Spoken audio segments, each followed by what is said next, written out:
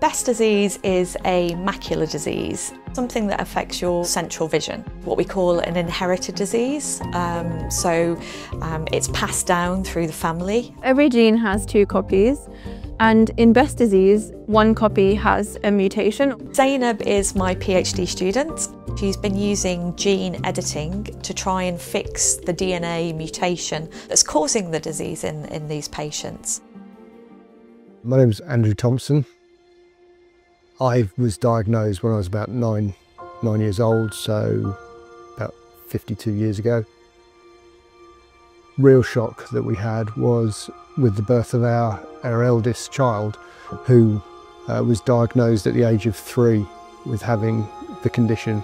We took a skin biopsy from Andrew.